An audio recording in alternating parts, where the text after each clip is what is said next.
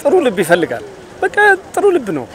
በጣም በጣም ደግሞ ብዙ ጥሩ ልቦች አሉ። ለምን ቁጥሩ አነሰ እንደሚባለው በአባቶቻችን በእናቶቻችን ጸሎት ተጠብቆ ሊሆን ይችላል። የግመሏን ነገር ነው ለኔ ማድረግ የምፈልገው። ሌላው ይጮሃል፣ ግመሏ ግን ትሄዳለች። የተጠየቅነው ነገር ትንሽ ነው፣ ግን ወንዙን ያሻግረናል። ያንን ከፈጸምን ኮሮና ሀገራችን ከገባ ጀምሮ ትንሽ ለእኛም ግቢ ትልቅ አስቸጋሪ ነገር ፈጥሮብናል። በተለይ ልጆቻችን የሚማሩት በመንግስት ትምህርት ቤት ነበረ። እንዲሁም ደግሞ የምግብ የእንጀራ አቅርቦት ለመንግስት ቤት እናቀርብ ነበረ።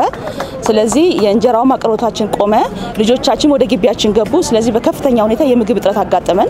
አሁን የቄራ ልጆች በውጭ ሀገር የሚኖሩ አሜሪካና አውሮፓ፣ አውስትራሊያ የሚኖሩ በጣም ትልቅ ገንዘብ እየሰበሰቡ ነው። ከነሱ ጋር ደግሞ አሁን ቄራ ላይ እሰራለሁ። ትልቅ ነገር እየቀሰቀሱ ነው። በጣም ትልቅ ነገር ነው። በየአካባቢው እንደዚህ እንሰራለን እና በተለይ በተለይ ኢትዮጵያ በጣም የምትገርም ሀገር ነች። በእውነት እንደዚህ አይነት ነገሮች ስትሰሪ ብዙ አበባ እንዲወረወርልሽ መጠበቅም የለብሽ። ብዙ ጦር አለ።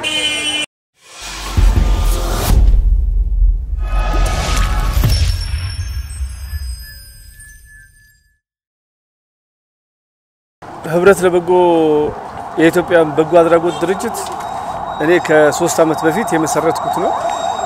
እስካሁን ሰዎችን በማሳከም ውስጥ ነው የኖረው። አሁንም እየሰራ ነው፣ እያሳከመ ነው እና እዚህ ወቅት ምን ማድረግ አለብን ብለን ስናስብ አይ በቃ ትልቁ አንዱ የመከላከሉ መንገድ መደጋገፍ ነው በሚል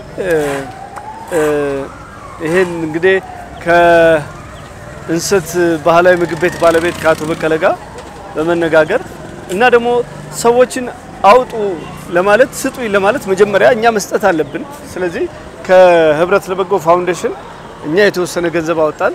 ከዛ አሜዚንግ ፕሮሞሽን የሚባል መጣ። እሱም የሆነ ገንዘብ ጨመረ። አቶ በቀለም መጡ። ከዛ ጓደኞቻችን አስተባበርንና ለመቶ ሰዎች ቢያንስ የ10 ቀን የ15 ቀን ቀለብ እሱን አረግን። ከዛ ደግሞ ሌላ ሌሎች ተነሳሽ የሆኑ ሰዎች መጡና እነ ካሪቡ አውቶሞቲቭ እና የአራዳ ክፍለ ከተማ የገራጆች ማህበር በማሰባሰብ እነሱ ደግሞ ሌላ የገንዘብ ድጋፍ ለሙዳይ ሊሰጡልን ተነሱ። ይሄ ነው እንግዲህ ያደረግነው ነገር። እግዚአብሔር ይመስገን። ትልቁ ነገር የእውነት የአምላክ ፈቃድ ነው። ከዛ ጥሩ ልብ ይፈልጋል። በቃ ጥሩ ልብ ነው። በጣም በጣም ደግሞ ብዙ ጥሩ ልቦች አሉ። የእውነት እኛንን መቀስቀስ ያለብን እንጂ አሁን ከዚህ በኋላ እዚህ ጋር አልቆምም። በየአካባቢው ይሄዳለሁ።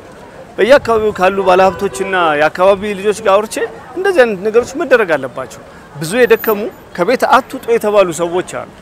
የእውነት በቃ ሕጉን አክብረው የተሰጣቸውን ሕግ አክብረው ያልወጡ ሰዎች አሉ። ግን ከውጭ ወጥተው ከሚገጥማቸው ህመም በተሻለ ቤት ውስጥ ስቃይ ያለባቸው እነዚህን ሰዎችን እኛንን መደገፍ ያለብን እኛንን ልንደርስላቸው የሚገባው በእውነት እና እግዚአብሔር አቅሙን በሰጠን መጠን እንሄዳለን። በየአካባቢው ዞራለሁ ብያለሁ። አሁን የቄራ ልጆች በውጭ ሀገር የሚኖሩ አሜሪካና አውሮፓ፣ አውስትራሊያ የሚኖሩ በጣም ትልቅ ገንዘብ እየሰበሰቡ ነው። ከነሱ ጋር ደግሞ አሁን ቄራ ላይ እሰራለሁ። ትልቅ ነገር እየቀሰቀሱ ነው። በጣም ትልቅ ነገር በየአካባቢው እንደዚህ እንሰራለን እና እግዚአብሔር አቅሙን ይስጠን። ይሄ ያ ፋውንዴሽን ሲመሰረት ጀምሮ ብዙ ያስተማረኝ ነገር አለ። እንደዚህ አይነት ነገሮች ስትሰሪ ብዙ አበባ እንዲወረወርልሽ መጠበቅም የለብሽ። ብዙ ጦር አለ። ያን ጦር ያንን ውጊያ ከሰማሁት እነዚህ እነዚህ ምስኪን ሰዎች አይረዱም። ስለዚህ እሱን መተው ነው መሄድ ብቻ ነው ከኔ የሚጠበቀው። የግመሏን ነገር ነው ለኔ ማድረግ የምፈልገው። ሌላው ይጮሃል፣ ግመሏ ግን ትሄዳለች። እንደዛ ነው። እውነት ያሳዝናል እኮ ማህበረሰብ። በእውነት እኔ እዚህ ውስጥ ነኝ ያለሁት፣ ከዚህ ማህበረሰብ የወጣው ነኝ። የኔ ሙያ ደግሞ ማህበረሰብ ይፈልጋል። ጤነኛ ማህበረሰብ ከሌለኝ እኮ ነው የተንቀሳቃሽ አይደለሁም አይደለሁም በቃ።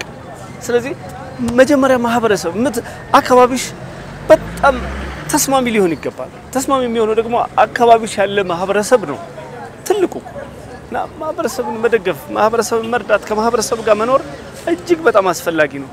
በተለይ በተለይ ኢትዮጵያ በጣም የምትገርም ሀገር ነች። በእውነት ማንም መስራት የሚፈልግ ካለ አሁን በየአካባቢው ይሄዳለሁ። እባካችሁ በራችሁ ክፍት ይሁን፣ ልባችሁ ክፍት ይሁን። አንድ ነገር እናድርግ። በቃ በዚህ በተለይ በዚህ አምላክ ዓለምን በክንዱ ላይ በመዳፉ ላይ አድርጎ እያሳየን ነው። ስለዚህ ከአንድነት የተሻለ ከሰውነት የተሻለ የሚመጣ ነገር ስለሌለ ያለው ለሌለው ማድረግ አለበት። እውነት ነው። እግዚአብሔር ኢትዮጵያን አብዝቶ ይባርካት። አመሰግናለሁ። እንግዲህ ይህንን በዋናነት ትልቁን ምስጋና መውሰድ ያለበት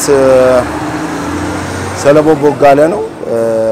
እኔ በአጋጣሚ ባለፈው 15 ቀን ሙዳይ የበጎ አድራጎት ማህበርን ሄጄ ጎብኝቼ ነበረ እና በጣም እዛ ባየሁት ነገር ልቤ ተነካ።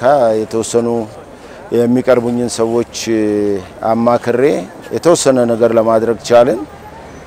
ግን ሳስበው በቂ አልነበረም። መልእክቱ ለሌሎችም መተላለፍ ነበረበትና ቅርቤ የሆነው ወዳጄን ሰለሞንን አማከርኩት። እንደዚህ አይነት ነገር አለ እባክህ አንተ ብዙ ሰዎች ስለምታውቅ ብታስተባብር አልኩት። እግዜር ይስጠው በዚህ በአንድ ሳምንት ውስጥ ይህንን ነገር በሙሉ አስተባብሮ እንደዚህ እንደምታዩት ትልቅ ነገር አድርጓል። ለሙዳይም ወደ መቶ ሺህ ብር የሚጠጋ እርዳታ ነው የተደረገው። በእውነት ደስ የሚል ወገናዊ ምላሽ ነው።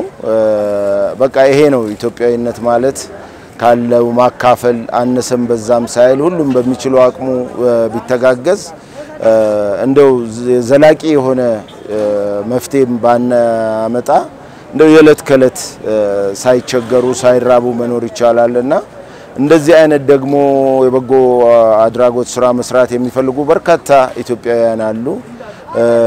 እንደ አጋጣሚ ሆኖ አንዳንዱ የት ሄዶን መስጠት እንዳለበት፣ ለማን መርዳት እንዳለበት፣ ምን ያህል ነው መስጠት ያለብኝ ብሎ የሚቸገር ብዙ ሰው አለ እና ይሄ ነገር ወደ ህዝቡ መድረሱ ትልቅ ነገር ነው። እንደዚህ ደግሞ እንደ ሰለሞን ያሉ ሰዎች ሄደው በሚጠይቁ ጊዜ ሰው ወዲያው ምላሽ ሲሰጣቸው ደስ ይላልና በእውነት በዚህ አጋጣሚ ሰለሞንን ለተባበሩ ይሄን ነገር ሰምተው አቅማችንን እናደርጋለን ብለው የተቻላቸውን ሁሉ ላደረጉ ሰዎች በሙሉ ከሌ ከከሌ ማለት አልችልም። በርካታ ሰዎች ናቸው።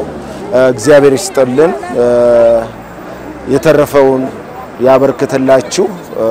መስጠት ከመቀበል ይበልጣልና መስጠት ባለን አቅም የተቻለንን ነገር ብንረዳ። ትልቅ ፈተና አጋጥሞናል።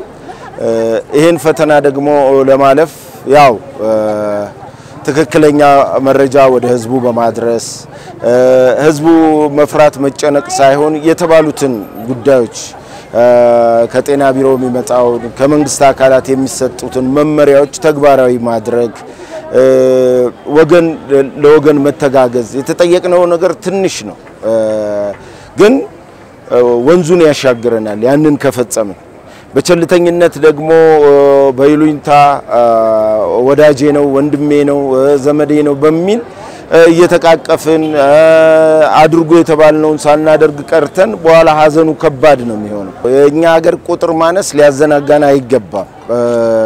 ለምን ቁጥሩ አነሰ እንደሚባለው በአባቶቻችን በእናቶቻችን ጸሎት ተጠብቆ ሊሆን ይችላል። አሁንም ጸሎቱ መቀጠል አለበት። ግን ከኛ የሚጠበቀው ምንድን ነው? ፈጣሪያችንንም መፈታተን የለብንም። ለምን ቁጥሩ አልበዛም እንደ ሌሎቹ ሀገር ብለን ወዳጅ ሲሞት እንደ በፊቱ ጮሆ መቅበር የለም። አንድ የቤተሰባችን አባል በቫይረሱ ቢያዝ ማስታመም ሄዶ መጠየቅ ላይኖር ይችላል። የምንወደው ሰው ከጎናችን ስናጣ ምንድን ነው የሚሰማን? ስለዚህ ይሄ ነገር የሁላችንም ኃላፊነት ነው። የአንድ ሰው ኃላፊነት ብቻ አይደለም። የኔም ያንቺም የሌላውም ሰው ኃላፊነት ነው። ስለዚህ ይሄን ኃላፊነት እንዴት ነው ልንወጣ የምንችለው? እንዴት ነው ይሄን የፈተና ጊዜ ልናልፍ የምንችለው እንጂ ቁጥሩ ስላነሰ ቁጥሩ ያነሰው በምንድን ነው? አዎ በጸሎት ሊሆን ይችላል። ከፈጣሪ በላይ ማንም የለም። ግን ፈጣሪንም ማገዝ አለብን። ሁላችንም በየእምነታችን እየጸለይን አድርጎ የተባልነውን ነገር ማድረግ ነው። ለትንሽ ጊዜ ነው ይሄ አታድርጎ የተባለው ነገር ሰው የተሰበሰበበት ቦታ አለመገኘት፣ ርቀትን ጠብቆ መጓዝ፣ እጅ ንጽህናን መጠበቅ የሚሉትን ነገሮች እነዚህን ነገሮች ተግባራዊ ማድረግ ስናስበው በጣም ቀላል ነው። ግን ብዙ ነገር እናተርፋለን። ብዙ ወገኖቻችንን ራሳችንን ስናተርፍ ሌላ ወገናችንንም ነውና የምናተርፈው። ይሉኝታ እና መዘናጋት አናብዛ፣ ራሳችንን እንጠብቅ። ኮሮና ሀገራችን ከገባ ጀምሮ ትንሽ ለእኛም ግቢ ትልቅ አስቸጋሪ ነገር ፈጥሮብናል። በተለይ ልጆቻችን የሚማሩት በመንግስት ትምህርት ቤት ነበረ። እንዲሁም ደግሞ የምግብ የእንጀራ አቅርቦት ለመንግስት ቤት እናቀርብ ነበረ። ስለዚህ የእንጀራውም አቅርቦታችን ቆመ።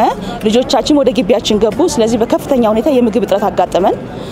እንዲሁም ደግሞ ተከራይተን የምናኖራቸው እናቶች አሉንና ለመመገብ ወደ ግቢያችን በሚመጡበት ሰዓት አከራዮቻቸው ከወጣችሁ አትመለሱ፣ ምክንያቱም በሽታ ታመጡብናላችሁ አሏቸው።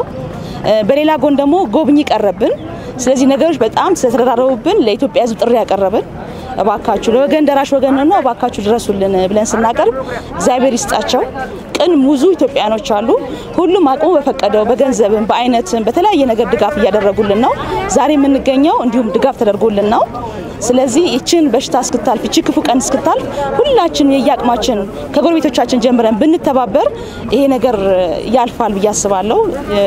በተጨማሪም በጸሎት ብናደርገው ብዬ ነው ማለት የምፈልገው። ኢትዮ ኢንፎ ሚዲያ የተለያዩ ማህበራዊ፣ ፖለቲካዊና ወቅታዊ ጉዳዮችን እያዘጋጀ ወደ እናንተ ያደርሳል። subscribe፣ comment፣ share በማድረግ ቤተሰቡን እናመሰግናለን።